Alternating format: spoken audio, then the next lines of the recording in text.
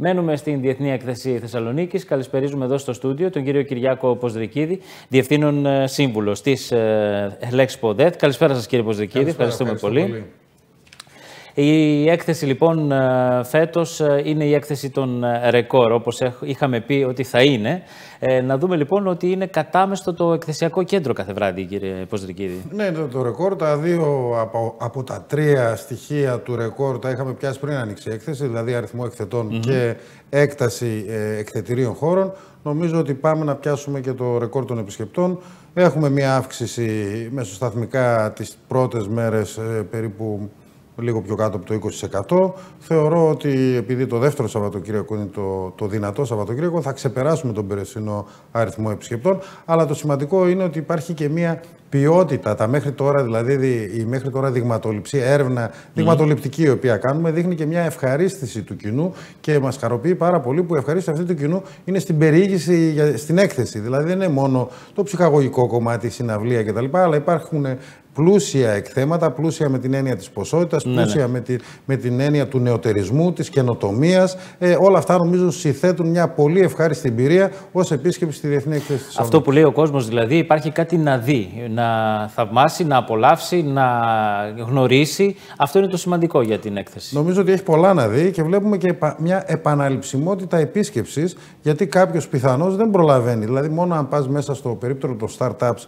και μιλήσεις με τις μισές από τις startups mm-hmm. χρειάζεσαι χρόνο, ε, χρειάζεσαι κάποιες ώρες. Ε, το ίδιο σκεφτείτε ότι είναι 17 περίπτερα είναι υπαίθριοι χώροι. Ε, και μάλιστα με πολύ πλούσια εκθέματα και πολύ ενδιαφέροντα εκθέματα. Το περίπτωρο της Αμερικής, για παράδειγμα. Έτσι. Ή αν θέλει να παρακολουθήσει μια ημερίδα. Είχαμε το Mindspark, αύριο ξεκινάει το Digital World, το οποίο έρχονται από όλο τον κόσμο και μιλάνε για το ψηφιακό αύριο. Πολύ ενδιαφέροντα θέματα. Ε, το περίπτερο που, που αφορά την άμυνα, ε, που είναι βιομηχανίες ε, αμυντικών και το, mm-hmm. και το Υπουργείο Εθνικής Άμυνας, που είναι πάρα πολύ ενδιαφέρον το περίπτερο με τα πανεπιστήμια, ε, το περίπτερο με τις μικρομεσαίες επιχειρήσεις, με την Κεντρική Ένωση Επιμελητήριων. Ξέρετε πω είναι, κάτω από, είναι περίπου 380 επιχειρήσεις. Ε, έχει, είναι πλούσιο. Το, το e-gaming, όπου εκεί.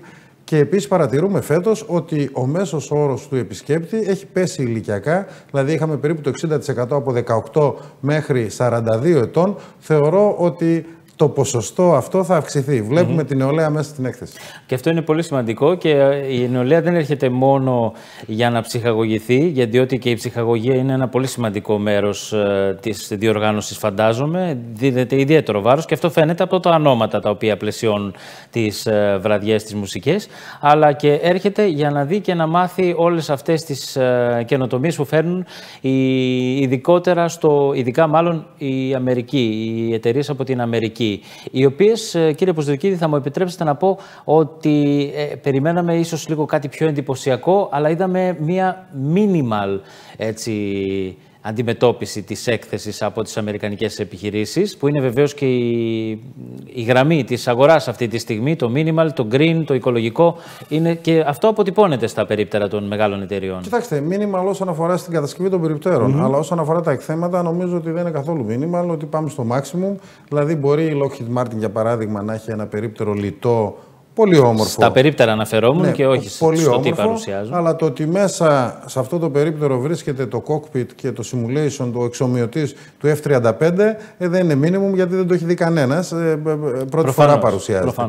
Όπως για παράδειγμα η, η Coca-Cola, σας λέω δύο παραδείγματα, η οποία ε, μέσα στο, στο εκθετήριό της έχει παγκάκια που κάνει από, ανακυκλω... από ανακυκλωμένο πλαστικό, όπου ουσιαστικά τα σκουπίδια τα κάνει κάτι χρήσιμο. Και αυτό ξέρετε ότι είναι και ένα πρόβλημα. Και τοποθετήθηκαν και στην παραλία, μάλιστα. Τοποθετήθηκαν στην παραλία και θα τοποθετηθούν και μέσα στην έκθεση, θα τοποθετηθούν σε παιδικές χαρές. Νομίζω ότι είναι μια πολύ έξυπνη ιδέα. Η έκθεση λοιπόν δείχνει το μέλλον και πάει προς το μέλλον, κύριε Ποζρικίδη. Η Αμερική φέτος, η Ινδία του χρόνου, πέρυσι η Κίνα, πετυχημένες πραγματικά οι, οι συμμετοχές των τιμόμενων χωρών.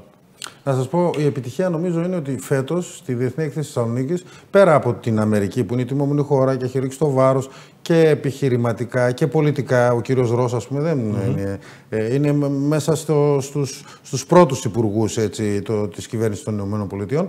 Επιτυχία είναι όμως ότι έχουμε 40 επιχειρήσεις, 40 stand από την Κίνα.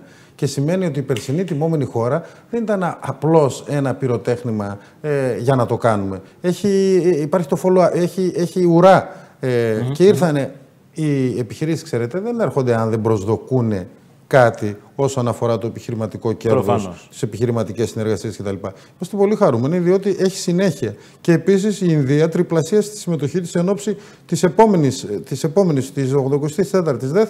Άρα και, εκεί, και εκείνοι δίνουν πολύ μεγάλη σημασία στη Θεσσαλονίκη, στη Βόρεια Ελλάδα, στην Ελλάδα και στην ευρύτερη περιοχή των Βαλκανίων. Και οι ξένοι αλλά και οι Έλληνες ε, δίνουν πολύ μεγάλη σημασία και αυτό φαίνεται και από τις επισκέψεις. Αλλά η, η έκθεση φετινή έχει και ακόμα ένα ρεκόρ. Είναι η πρώτη έκθεση στον κόσμο smoke free, δηλαδή χωρίς τσιγάρο. Και αυτό το πετύχατε.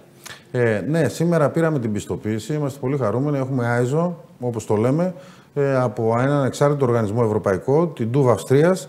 Ε, είμαστε η πρώτη έκθεση πανευρωπαϊκά ε, που ουσιαστικά έχουμε κουλτούρα ε, απαλλαγής από τον καπνό του τσιγάρου.